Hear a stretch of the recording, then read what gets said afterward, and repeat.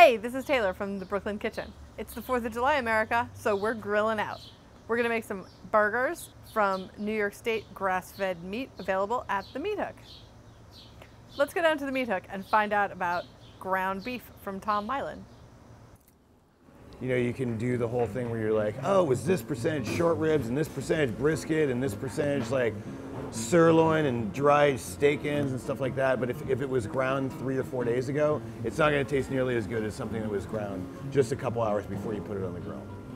We grind meat at the meat hook. Um, depending on the day, you know, we, we grind it at least three or four times a day. Um, on the weekends, we grind it like pretty much like hourly as we need it. If you come in here like on July 4th weekend, at 3 p.m., chances are we'll, ha- we'll be grinding it for you, like to order. Our grinder is uh, like a 1962 or 1963 uh, Hobart three horsepower grinder uh, that we bought from a guy who uh, refurbished it um, in. Where, where, was our grinder from? Cincinnati? Yeah. Yeah uh, guy that refurbished it in Cincinnati. Unlike you know when you when you buy commercial ground beef that you know from the supermarket or whatever, that that one burger patty can be comprised of bits of meat from you know 500 or 1,000 different cows. Here at the Meat Hook, we only get in uh, three to four beef uh, every week.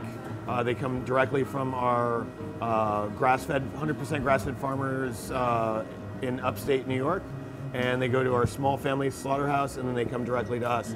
So unlike um, you know specialty burger grind places that'll do per- this percentage of short rib and this percentage of brisket, um, our trim is, is comprised of every single part of the animal. So when you're getting uh, a meat hook burger, you're getting a lot fewer animals in that grind, one, maybe two, uh, animals that are that are ground together, um, but you're getting a lot more of the pieces of the animal, which I think is, is you know a, makes the burger like nice and complex. All right, it is burger time.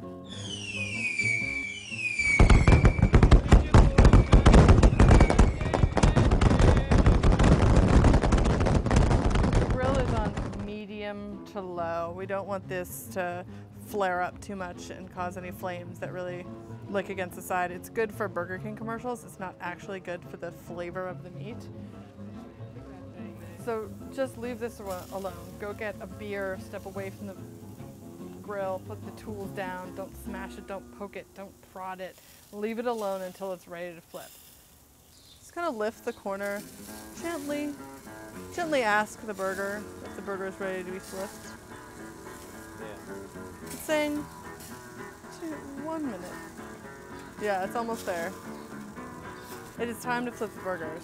This guy right here, uh, when nudged gently, holds together mostly. So I'm just gonna give him a flip.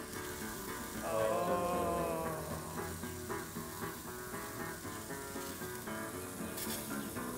This one looks a little bit darker and smaller.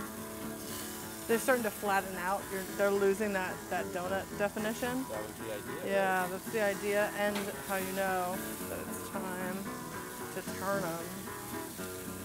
Just really simple, basic rolls. I don't like to have bread overpower the burger. Let's get those warmed up.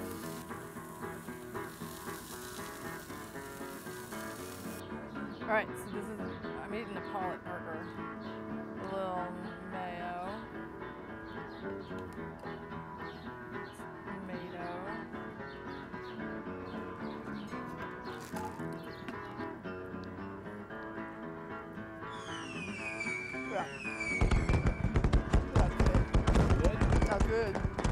Hey guys, thanks for watching. Uh, if you're ready for burgers, head down to the meat hook, pick up some ground beef, pick up some grilling supplies from the Brooklyn Kitchen. Check out thebrooklyn.kitchen.com for more videos, and we'll see you soon.